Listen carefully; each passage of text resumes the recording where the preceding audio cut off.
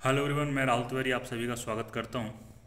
और आज का जो न्यूज़पेपर है, उसमें एक्चुअली दिया गया था कि जो बिहार दरोगा का जो वैकेंसी है 2000 प्लस वैकेंसी जो है, आने वाला है। और मैंने अपने वीडियो में, इससे पहले वाला जो वीडियो मैंने अपलोड किया था, Bihar S I strategy and book list उसमें मैंने आपको ये बताया था कि जो बिहार एसआई का जो एग्ज़ाम डेट है है ना, वो दिसंबर या जनवरी में होने वाला है ना मतलब फिक्स है। फिक्स है मान के चलिए अगर आ, कुछ बीच में प्रॉब्लम होता है तो शायद ऊपर नीचे हो सकता है। वो नीचे नहीं मतलब ऊपर ही हो सकता है जनवरी के बाद हो सकता है। लेकिन दिसंबर या जनवरी मान के चलिए कि बिहार ईसाई का एग्ज़ाम होने वाला है। दूसरी चीज़ की बात रह कि सर नोटिफिकेशन कब आ सकता है? देखिए नोटिफिकेशन का वेट मत कीजिए, क्योंकि आपको पता है कि पिछली बार भी अक्टूबर में जो नोटिफिकेशन आया और आपको दिसंबर में एग्ज़ाम हो गया। तो ये जो बी का जो बोर्ड है, काफ़ी फास्ट इसका प्रोसेस रहता है तो आप इसका बिल्कुल वेट मत कीजिए नोटिफिकेशन का। आप लोग दिसंबर और जनवरी का जो है टारगेट करके चलिए और छः से आठ घंटा डेली पढ़ाई करते रहिए।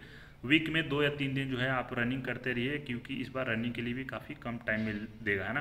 क्योंकि आप समझ सकते हो कि देखिए तीन महीना के आप छः महीना भी अगर टाइम देगा ना रनिंग के लिए मतलब फ़िज़िकल के लिए, तब भी समझ लीजिए कि चालीस से 45 परसेंट ही लोग क्वालिफाई करेंगे, क्योंकि आप देख सकते हो, इससे पहले कितने भी एग्ज़ाम हुए 40 से 45 परसेंट जो है मैक्सिमम इस बार की अगर बात करें 45 परसेंट के अराउंड जो है लोग क्वालिफाई करते हैं। इससे ज़्यादा नहीं होंगे, है ना?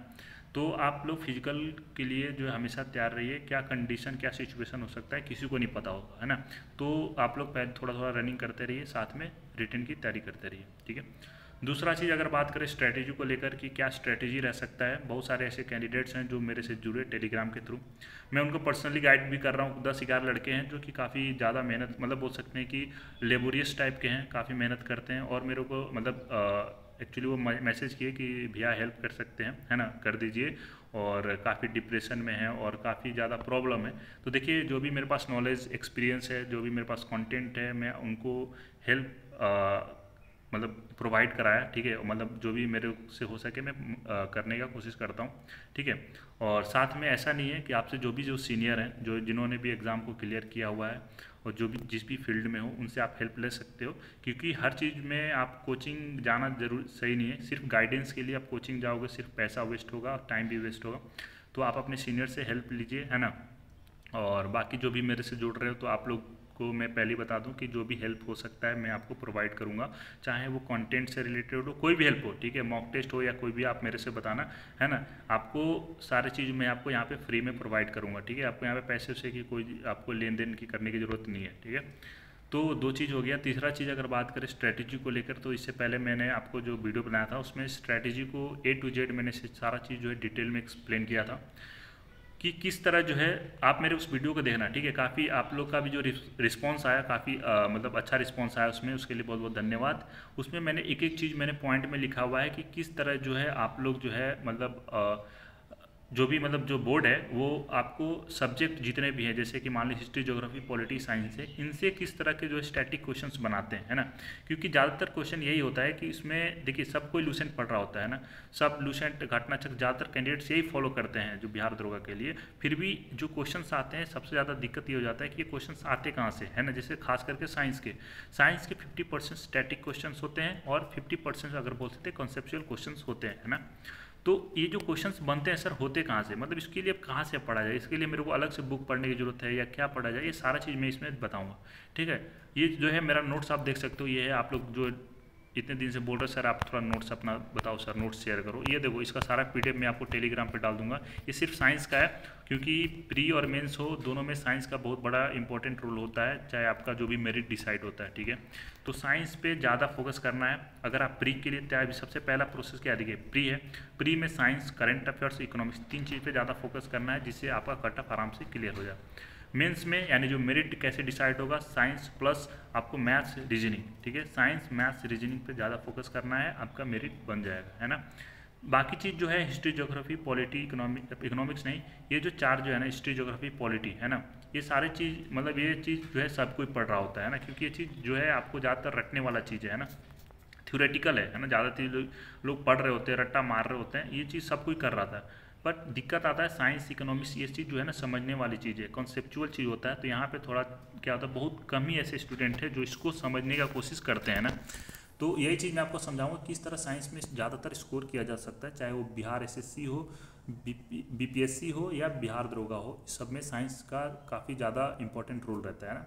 तो वही चीज़ आपको देखिए, मैं आपको पहले, सबसे पहले बताऊँगा यहाँ पर ये है मेरा जो है नोट साइंस का, ठीक है? काफ़ी ज़्यादा है, ठीक है? इसमें मैंने बहुत सारा क्वेश्चन भी एन का क्वेश्चन मैंने ढूंढ के मतलब आप समझ लोगे तो क्वेश्चन बहुत ज़्यादा है। मतलब अब दो हज़ार, तीन हज़ार क्वेश्चन होगा इसमें। मतलब दो तीन साल से जितना क्वेश्चन मिल चुका है, क्योंकि मेरा तैयारी एक्चुअली अगर बात करें, दो हज़ार उन्नीस, दो हज़ार उन्नीस से मैंने शुरू किया था। और ये मैंने जो तैयारी किया था वो C D S AFCAT और जो C A P assistant commandant का होता है, जो कि यूपीएससी के द्वारा कंडक्ट कराया जाता है ना। तो उसके लिए मैंने ये तैयारी किया था और ये नोट्स मैंने बनाना शुरू किया था। ये है N C R T six to eight six to ten तक। और ट्वेल्थ के कुछ लास्ट के चैप्टर्स हैं जिससे मैंने ये नोट्स बनाया हुआ है ठीक है? आप देख सकते हो और इनसे देखिए मैं क्वेश्चन जो पूछे गए बिहार दुर्ग में वही वही सारा चीज़ यहाँ पे आप सब आपके सामने लेकर आया हूँ ठीक है? क्योंकि जो इजी क्वेश्चन है वो आपको कहीं भी मिल जाएँगे। मतलब आप वन लाइनर पढ़ रहे हो कोई जो एन सी एल्यूशन पढ़ रहे हो उसके जो पीछे में होता है तीन चार पेज जो होता है वहाँ भी आपको मिल जाएगा जो कि ईजी क्वेश्चन होते हैं। मैं लेके आया हूँ जो टफ क्वेश्चन जो कि बहुत लो, कम लोग अटैम्प्ट कर पाते हैं या आपको बहुत कम जगह ये सब क्वेश्चन जो है देखने को मिलते हैं। तो एक्चुअली इसका सोर्स क्या है? मतलब ये सारे क्वेश्चन कहाँ से पूछे जाते हैं? आप खुद समझ जाना। बाद में आपको बताऊँगा कि कौन सा पढ़ना है आपको लूसेंट या एन e क्या फॉलो करना है, सारा चीज़ आपको यहाँ पे बताऊँगा, ठीक है? आप लोग फॉलो करना मतलब लास्ट तक देखते रहना, ठीक है? बाकी जो डाउट है, बाकी तो आप हमें टेलीग्राम में जुड़ सकते हो, ठीक है? ये है, देखिए, ये क्वेश्चन पूछा गया था कि जो है इन तीन जो टेम्परेचर टेम्परेचर का इफ़ेक्ट जो है इन पे से इनमें से किस पे नहीं पड़ता, ठीक है ना? ठीक है? तो आप देखो यहाँ पे, मेरा यहाँ पे लिखा भी हुआ नोट्स में change in temperature will not affect किसको मोलालिटी तो इसका राइट आंसर किस क्या होगा? मोलालिटी यानी मोलालिटी नॉर्मालिटी मोलालिटी में मोलालिटी पे टेम्परेचर का कोई अफेक्ट नहीं होता है, ठीक है? तो आप समझ सकते हो। मैं आपको बताऊँगा ये सारा नोट्स कहाँ से आया, ठीक है? ये है देखिए इनलैंड फिशरीज और ऊपर है इसका मेरीन फिशरीज शायद पूरा नहीं आया लग रहा है, ठीक है? इसमें पूछा गया था कि जो है फ्रेश वाटर में जो फिशरीज होती हैं, इनमें से कौन सी नहीं है, ठीक है? इस कटला हो गया, रोहू हो गया, उसके बाद एक और था, टूना था, है ना? तो इसमें से टूना होगा कि वो मेरीन फिशरीज है। और ये आप देख सकते हो यहाँ पे।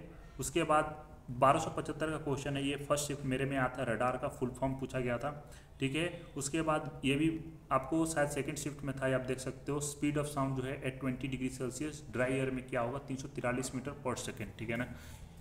उसके बाद अगर बात करें ये इस पर बहुत बार जो है क्वेश्चन आ, आ, आ चुका है रेजिस्टेंस जो है is proportional to length by area है ना? एरिया यानी थिकनेस ऑफ़ जो है वायर ठीक है ना?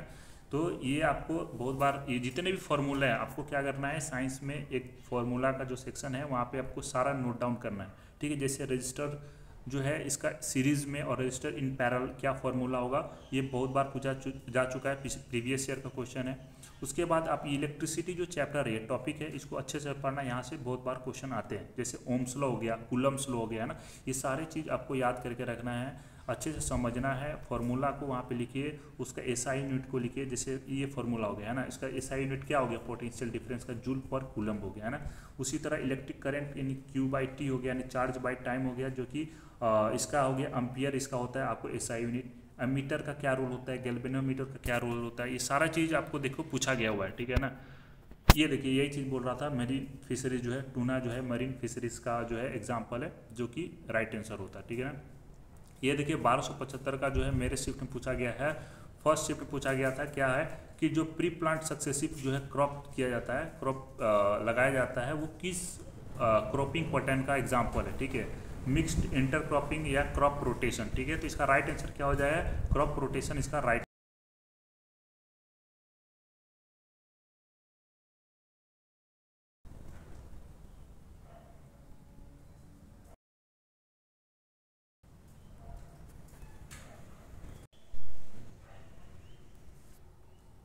ठीक है, आप देख सकते हो इसका राइट आंसर क्या होगा। उसके बाद आ रहा है, उसके बाद ये ग्लूकोज है, जो कि साइटोप्लाज्म में अगर ब्रेक होता है तो कितने कार्बन में ब्रेक होगा, ये भी पूछा गया क्वेश्चन है। उसके बाद ये पूछा गया है प्लाज्मा जो है, किस किस को ट्रांसपोर्ट करता है, ठीक है। फ्लोएम और आपको पता होगा कि क्या ट्रांसपोर्ट करता है एमिनो एसिड और इसके फ्लोएम का एग्ज़ाम्पल भी पूछा गया कौन कौन सा जो है फ्लोएम का पार्ट नहीं है, जैसे सीप ट्यूब्स हो गया कंपेनियन सेल्स हो गया, है ना। इसके लिए शॉर्ट ट्रिक है पीसीएस याद रखिएगा। उसके बाद इलेक्ट्रिक पावर ये भी पूछा गया है कि पावर का याद रखिए यहाँ पे आपको रेजिस्टेंस दे देगा, है ना वोल्ट और पावर पूछेगा कितना पावर होगा तो ये फॉर्मूला आप देख लो, है ना। उसके बाद ये तो काफ़ी इंपॉर्टेंट है, ये भी topic chemical reaction and equation ठीक है। हर बार प्री में दो क्वेश्चन पूछे जाते हैं। इस बार भी पूछा गया था, बारह में जो हम लोग का पूछा गया था, आप सबने पता होगा कि सल्फरिक एसिड प्लस कॉपर का अगर रिएक्ट करेंगे तो उसका रिज़ल्ट क्या आएगा, है ना। जो कि मतलब क्या देगा एसओ गैस देगा, उसी तरह इससे पहले जो पूछा गया था, बाईस में पूछा गया था कि जो वो बेकिंग सोडा है, अगर उसको हम अगर हीट करेंगे तो क्या देगा? तो आप पता है कि जो खाने वाला सोडा है तो क्या होगा? सी रिलीज़ करता है है ना? तो ये हो गया रिएक्टिविटी ऑफ़ मेटल्स पूरा का पूरा लिस्ट याद करके रखिएगा, ठीक है? उसके बाद हो गया को वैलेंट वर्ड देखिए, इसीलिए बोलते हैं साइंस क्यों ज़रूरी है? क्योंकि आपको समझने की चीज़ ये देखिए, ये अब ये चीज़ है, आप इसको रट्टा नहीं मार सकते, जैसे को वैलेंट बॉन्ड हो गया, है ना? टाइप ऑफ़ बॉन्ड्स कितने? को वैलेंट हो गया। हाइड्रोजन बॉन्ड हो गया या आयोनिक बॉन्ड हो गया तो एक्चुअली है क्या एक चीज़ आपको समझने की ज़रूरत है ना। कोवैलेंट क्या है? शेयर शेयरिंग ऑफ़ इलेक्ट्रॉन्स हो गया ना। जब इलेक्ट्रॉन शेयर होता है तो कोवैलेंट बॉन्ड जो है फॉर्म करता है। आयोनिक बॉन्ड में आयंस का जो है आपको शेयर होता है। ठीक है? हाइड्रोजन बॉन्ड जो हाइड्रोजन के बीच में बॉन्ड बनता है। तो ये सारी चीज़ आपको समझना है, आपको रट्टा नहीं मारना, ठीक है? उसके बाद हो गया ये प्रोटिस्टा, ये तो आपको सेल और टिश्यू का है, जो कि हर बार पूछा जाता है इनमें से एक क्वेश्चन फंजाई से पूछा गया है कि जैसे यहाँ पे यहाँ पे देख सकते हो कि ये कौन सा जो है फंजाई, इसका एग्ज़ाम्पल यहाँ पे देखो। ईस्ट मशरूम हो गया पेंसिलम हो गया, ये सारा चीज़ आपको याद करना है, ठीक है? हर बार जो है आपको ऐसा पूछ सकता है। फंजाई का जो सेलवाल है, किस चीज़ से बना होता है ना? तो आप ये देख रहे हो किस तरह जो है क्वेश्चन पूछता है और कहाँ से बनाना है, आपको किस तरह नोट्स बनाना है, ठीक है? उसके बाद हाइपोटोनिक आइसोटोनिक और हाइपोटोनिक सोल्यूशन क्या होता है? ये आपको समझना है, क्योंकि इसमें ऑस्मोसिस का रोल होता है, ठीक है? ऑस्मोसिस क्या है? आपको समझना ऑस्मोसिस हो गया डिफ्यूजन हो गया, ठीक है ना? तो काफ़ी अच्छी तरह से आपको समझना है, ठीक है? ब्लीचिंग पाउडर बेकिंग सोडा मैंने आपको बताया कि ये हमेशा पूछता है आपको, ये जो इक्वेशन जो है, आपको देखिए यहाँ पे नीचे में इक्वेशन लिखा हुआ है। आपको शायद कट गया होगा यहाँ पे, क्लियरली नहीं दिख रहा बट यहाँ पे इक्वेशन लिखा हुआ है, ठीक है? तो इक्वेशन से आपको इजीली समझ में आता है कि किस तरह bleaching powder baking powder baking soda हो गया, है ना? ये हो गया सोडियम हाइड्रोक्साइड एन जिससे बोलते हैं, ठीक है? किस तरह बनाया जाता है? देखिए सोडियम क्लोराइड है ना? और एच को मिलाएँगे तो एन बनेगा, ठीक है? क्या क्या जो है यहाँ पे प्रोडक्ट निकलेगा, ये सब आपको याद करके रखना है, ठीक है?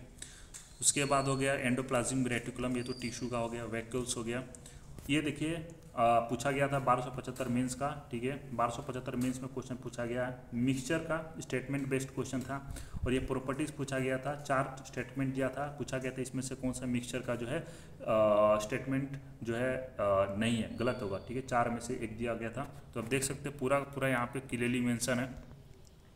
पेस्चराइजन पेस्चराइजेशन से पूछा गया है। पेस्चराइजेशन जो है बहत्तर डिग्री सेल्सियस कितना टाइम लगेगा?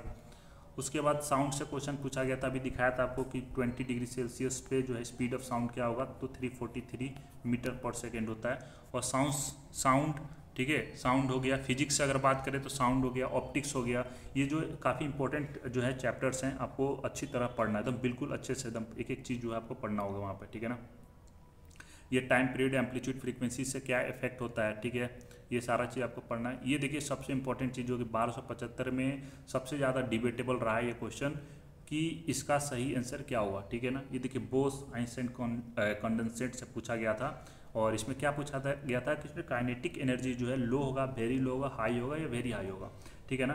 तो यहाँ इसका जो अगर बात करें तो यहाँ पे होगा तो लोएस्ट होता है, क्योंकि देखिए यहाँ पे क्या है कि एब्सोल्यूट ज़ीरो आप देख सकते हो यहाँ पे लिखा भी है कि लो टेम्परेचर ठीक है? यानी एब्सोल्यूट ज़ीरो पे हो जाता है, यानी बिल्कुल लोएस्ट एक सिंगल एटम बन जाता है, वहाँ पे उसका एनर्जी बिल्कुल जो है मूवमेंट नहीं होता, ठीक है ना? तो वेरी लोएस्ट यहाँ पे लो वेरी लोएस्ट बोल रहा हूँ लोएस्ट इसका राइट आंसर होगा, ठीक है? या वेरी लो बोल सकते हो, ठीक है ना? इसके बाद ये भी देखिए, बारह का क्वेश्चन पूछा हुआ है। सेकेंड में ये इमिसिबल लिक्विड्स क्या, कौन सा इसमें से नहीं होता है ठीक है ना? उसके बाद हो गया, ये तो आपको डाइजेशन ग्रास ईटिंग एनिमल्स ठीक है रूमेन जो कि जो घास हार्वीवरस होते हैं जो घास खाने वाले एनिमल्स होते हैं, उनमें एक रूमेन होता है, जहाँ पे घास जो है पचता है ना डाइजेशन जो कि हम लोग में नहीं होता मैमल्स में नहीं होता है वो। मैमल सॉरी बोल रहा हूँ ह्यूमन्स में नहीं होता, ठीक है? उसके बाद सेप्रोटॉप्स के एग्ज़ाम्पल जो होता है सेप्रोटॉप जो सड़े हुए खाने पे, जो चीज़ सड़े हुए खाने को जो है और डिस्ट्रॉय करते हैं माइक्रो ऑर्गेनिजम्स जैसे फंजाई बैक्टीरिया हो गया वाटर मोल्ड्स हो गया, ये सारे सेप्रोटॉप्स हो गए। मोल थ्योरीज हमेशा पूछा गया है, देखिए प्लैंक्स कॉन्स्टेंट का इस बार जो है फॉर्मूला के बेसिस पे पूछा गया था। इस बार एवगेड्रोस नंबर भी पूछा जा सकता है, ठीक है? एवगेड्रोस नंबर याद रखिएगा, ठीक है? उसके बाद ये सारे नोट्स है। देखिए, ये सारे चीज़ तो दिखाया जो कि क्वेश्चन पूछे गए हैं और ये कहाँ आपको मिलेगा, ठीक है ना? मतलब किस तरह पढ़ना है? देखिए, सारा चीज़ भी, ये सब भी लूसेंट में ऐसा नहीं है कि मैंने अलग एन का एक्चुअली ये नोट्स कुछ चीज़ इसमें है जो कि लूसेंट में नहीं मिले आपको। जैसे कि जैसे कि आपको हो गया, क्या था वो? ये मिनट जो क्रॉपिंग पैटर्न था, मैं आपको बता दूँ क्रॉपिंग पैटर्न जो दिया होता है ये वाला चीज़ जो है आपको ये ये का है, ठीक है? ये मैरीन और इनलैंड फिशरीज ये भी एन सी में नहीं मिलेगा आपको, है ना? तो कुछ चीज़ होता है ना, जैसे कि आपको दिया हुआ, ये चार्ज शायद दिया होगा लूशन में, ठीक है? ये ये भी आपको दिया होगा ये सारा चीज़ दिया हुआ है, ठीक है? ये मोलारिटी मोलारिटी जो है एन का। तो कुछ चीज़ जो है, जो आपको एन में जो दिया हुआ है, कुछ लूसेंट में नहीं है। तो उसके लिए आपको क्या करना है, आपको देखिए आप बता रहा हूँ कि बुक एन आपको फॉलो करना है या नहीं करना पहले चीज़ की एन उनको फॉलो करना चाहिए, जो कि बीपीएससी के लिए तैयारी कर रहे हो, या आगे के जो यू पी के लिए तैयारी कर रहे हैं तो अगर वो उनके लिए तो बहुत ज़रूरी है कि फाउंडेशन अगर उनका स्ट्रॉन्ग करना है तो एन बिल्कुल ज़रूरी है। दूसरी चीज़ हो गई बिहार दरोगा के लिए। देखिए, बिहार दरोगा के लिए अगर बात करें तो अगर आपको मतलब बाकी चीज़ को छोड़ दिए जीके जीके तो आप लूसेंट से पढ़ सकते हो। अगर आपको, आपके पास टाइम है और अगर आप कोचिंग नहीं जाना चाहते तो आप एन e पढ़िए। क्योंकि एन e में ना क्या है कि बहुत ईजी वर्ड दिया हुआ ईजी वर्ड में समझाया गया। तो आपको काफ़ी अच्छी तरह से समझ भी आ जाएगा, रटने की ज़रूरत नहीं एक बार आप समझ गए तो समझिए कि आपको पूरा चीज़ ये जो है एग्ज़ाम के मतलब एग्ज़ाम क्या है, एक दो साल तक आपके दिमाग में बैठा रहेगा। आपको अब रटने की ज़रूरत नहीं है। लूसेंट क्या है ना लूसेंट में नोट्स के फॉर्म में बनाया हुआ है। समझ रहे हैं वो उनके लिए है जो कि रिवीजन कर सकते हैं। ठीक है, मान लीजिए आप उन्होंने एन पढ़ लिया हो, कोई दूसरा बुक पढ़ लिया हो और लूसेंट में आके है कि लास्ट मोमेंट पे आप रिवीजन कर सकते हो, है ना? तो आप अगर बिगिनर हो, आप बिल्कुल अब स्टार्ट कर रहे हो एकदम, बिल्कुल आप अभी एग्ज़ाम कोई भी कॉम्पिटेटिव एग्ज़ाम्स के लिए तो लूसेंट अगर आप पढ़ रहे हो तो बिल्कुल समझ में नहीं आएगा। आपको चार बार, पाँच बार पढ़ोगे ना, तब जाके दिमाग में समझेगा, समझ में आएगा, क्योंकि उसमें जो टर्म्स होते हैं, वो आपको बिल्कुल दिमाग में समझ नहीं आता है, ठीक है? आप बताइए ओस्मोसिस क्या चीज़ है? ये आपको बिल्कुल समझ नहीं आएगा। गलबनोमीटर का यूज़ क्या होता है? ये भी आपको समझ नहीं आएगा, अगर आपने नहीं पढ़ा होगा तो। ठीक है? तो इसीलिए एन बहुत ज़रूरी चीज़ है, अगर आप पढ़ना चाहोगे, पढ़ सकते हो, ठीक है? लेकिन अगर आप लूसेंट फॉलो करना है टाइम कम है तो लूसेंट ही पढ़िए, लेकिन साथ में जो क्वेश्चंस आप लगा रहे हो ना, वो एन बेस्ड क्वेश्चंस लगाइए, ठीक है? और उसका वो कहाँ मिलेगा, मैं आपको जो है प्रोवाइड करा दूँगा। आप मेरे को टेलीग्राम में कीजिए, मैं आपको क्वेश्चन वहाँ पे मतलब वहाँ पे बहुत सारे क्वेश्चन है मतलब छः सात हज़ार क्वेश्चन आपको एन बेस्ड क्वेश्चन है साइंस के लिए सिर्फ़ बता रहा हूँ, ठीक है? और जब भी आप लगाना तो वहाँ पे जो भी क्वेश्चन आपके गलत हो रहे हैं या जो टर्म्स बिल्कुल नया समझ नहीं आ रहा, आप उसको गूगल कीजिए और अच्छे से लिख लिए। ठीक है? ताकि आपको रिवाइज करने के लिए जो है, ज़्यादा उसको मेहनत करने की ज़रूरत नहीं है, रट्टा मारने की ज़रूरत नहीं है। एक बार अच्छे से अगर उसको गूगल में सर्च कर लिए, खुद से पढ़ लिए तो आपके दिमाग में छप जाता है ना? तो इसीलिए आप खुद से आपको थोड़ा मेहनत ज़्यादा करना पड़ेगा। थोड़ा साइंस पे क्या है कि आपको समझने की ज़रूरत है ना? और ख़ास करके जो चौंसठ एस जो एक्साइज एस का जो एग्ज़ाम हुआ था, उसमें आपने देखा होगा, जो मेंस में क्वेश्चन पूछा गया था, वो काफ़ी ज़्यादा कॉन्सेप्चुअल पूछा गया था, है ना? तो क्या पता जो नेक्स्ट एग्ज़ाम हो, उसमें ज़्यादातर जो ऐसा क्वेश्चन पूछ दे स्टैटिक वाल पोर्सन कम हो जाए। तो इसीलिए आपको साइंस के लिए हमेशा से रेडी रहना है। ठीक है? और लूसेंट अगर आप पढ़ना चाहते हैं तो लूसेंट पढ़िए, ठीक है? साथ में जो प्रैक्टिस सेट लगा रहे हैं, वो बिल्कुल अच्छा देख के पढ़ाइए। मार्केट में जी बहुत सारा ऐसा प्रैक्टिस सेट है जो कि किसी काम का नहीं है, सिर्फ़ ऐसे नाम पे चल रहा होता है ना? तो आपको प्रैक्टिस सेट काफ़ी अच्छे से ढूंढ के लगाना है, ठीक है? साइंस के लिए क्या करा आपको? पहले बुक है लूसेंट या एन जिसको पढ़ना है एन सी पढ़ता है बट लूसेंट सब लोग प्रेफर करते हैं तो लूसेंट आप पढ़िए।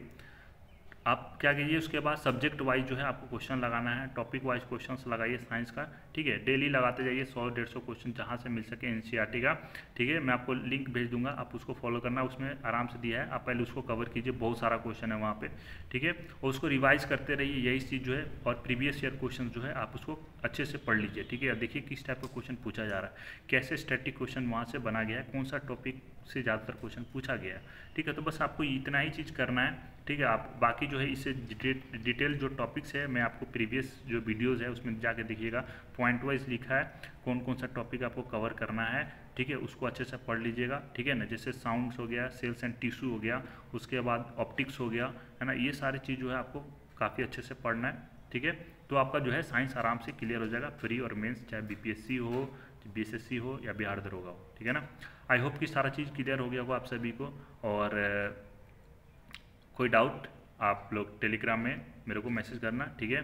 कोई भी चीज़ डाउट हो गाइडेंस की ज़रूरत हो मॉक टेस्ट कौन सा सही है आज के टाइम मार्केट में, ठीक है? क्योंकि मार्केट में बहुत सारे नाम का जो है, चल रहा कोचिंग इंस्टीट्यूट्स का, जो कि किसी को आइडिया नहीं है कि कैसा एग्ज़ाम पैटर्न है, क्या आ रहा है। ठीक, सिर्फ़ वो अपने नाम, पब्लिकेशंस के नाम से चलाए जा रहे हैं और कुछ भी भर भर के जो है उसमें डाला जा रहा है, जो कि इरेलीवेंट है, आपको पर ज़्यादातर उसमें टाइम वेस्ट होगा और कुछ नहीं होगा। ठीक है ना? तो आप लोग बहुत ही अच्छा कंटेंट की हमेशा मतलब खोज में रहिए, कहाँ से मिल सकता है। जैसे अगर वेबसाइट जो हो गया, टेक्स्ट बुक हो गया बाईजूस हो गया, है ना, एक उसके बाद आपको वेदांतु हो गया। ये सारा जो है क्वेश्चन आप देखना, यहीं से उठा उठा के पूरा एग्जैक्ट ऑप्शंस के साथ जो है बी ने पूछा गया था इस बार मेंस का ठीक है ना? तो पूरा आप देखना, उसमें पाँच छः क्वेश्चन तो पूरा एग्जैक्ट ऑप्शन के साथ ही थे सेम तो आपको इसीलिए जो आपको अच्छा जो है प्लेटफॉर्म देखना कहाँ से क्वेश्चंस अच्छे पूछे जा सकते हैं मॉक के लिए, ठीक है? तब तक के लिए धन्यवाद, जय हिंद और इस वीडियो को आप शेयर कर सकते हो, अगर शेयर करना चाहो अपने दोस्त के, दोस्तों के साथ, ठीक है?